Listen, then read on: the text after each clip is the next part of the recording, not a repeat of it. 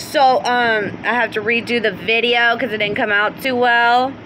Um, so before Ruben was on the wanted list, and before you cut out the blue agave cactuses, if you go back to St. Petersburg, Florida, when I was trying to call the lawyers, saying that my car is missing and stuff like that, and saying, can you sue the police department and stuff like that, and blase blase, and da da da da da. Because when you cut off the blue agave, there's a lawyer on that account because it was Ashley, which goes with Lieutenant Hazel, which goes with Rooster, which goes with the sheriff and stuff like that, saying, Hey, I can still see you typing. Let me know when you finish.